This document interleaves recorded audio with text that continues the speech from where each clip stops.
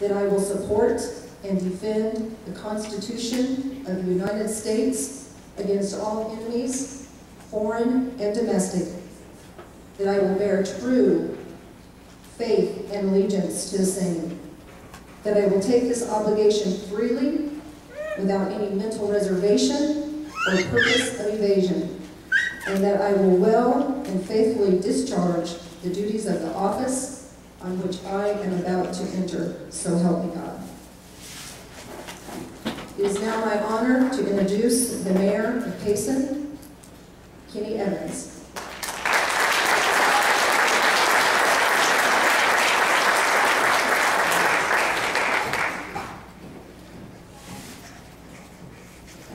Thank you, and thank you for being here.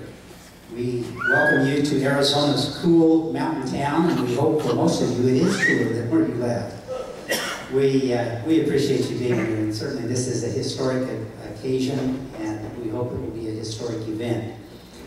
Um, with your permission, Jeff, I'd like to lighten the mood just a little bit. Um, I've been around politics, as Gary Pierce and some of the can tell you, forever, but have chosen not to participate in it until very recently, the last two years that I've been mayor, and the last two and a half years or so. Um, one of the things that probably moved me in that direction was a very good conservative Republican who happened to be a fellow farmer on Yuma Mesa. His name was Elliot Waits, and Elliot and our family and Curly Livingston and other uh, good farmer in that area um, were often colleagues and often shared their um, words of wisdom with a young man growing up in high school in Yuma. On one occasion, I was uh, pulling up and it was hot, and so I wasn't particularly interested in what they had to say, but they were standing under the only shade tree on that part of the Yuma Mesa, and so we all kind of migrated together as they were standing there talking about uh, politics and a number of other things. The, the uh, topic of conversation eventually got around to the weather, as it always does with farmers. And uh, at that point, Curly turned to Elliot and said, boy, you know, this is really terrible. These weather forecasters just can't get right. When they predict it's going to be sunny, it's rainy. When they predict it's going to be rainy, it's sunny. When they say it's going to be calm, the wind blows. When they tell us to batten down the hatches that we're going to have a windstorm, it's calm. And uh, about that time, Elliot pulls a straw out of his mouth and flicks it off to the side and says, Listen, Curly, just be grateful those folks are only in the business of trying to predict the weather, not control it. We have the two politicians in the audience, I think, got it.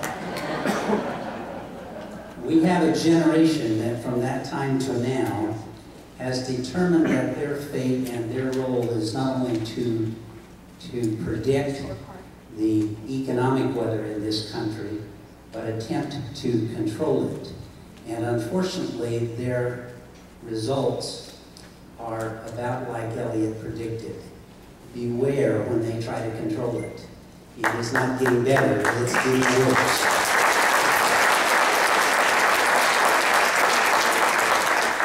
I hope as you go through your event, you'll take the opportunity to um, get up to your elbows in the process here.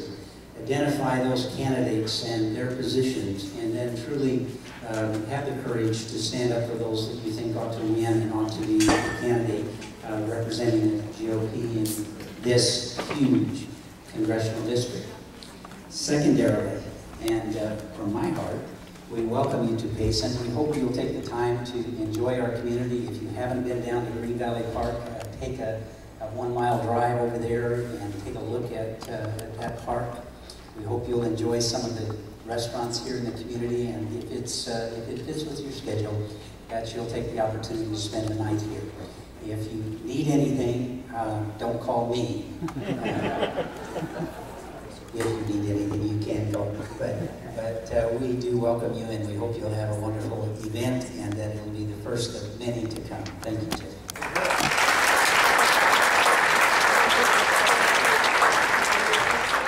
Thank you, Mr. Mayor. At this time, I'd like to uh, welcome Marty Hermanson, the now County Chair, who will be our moderator for this.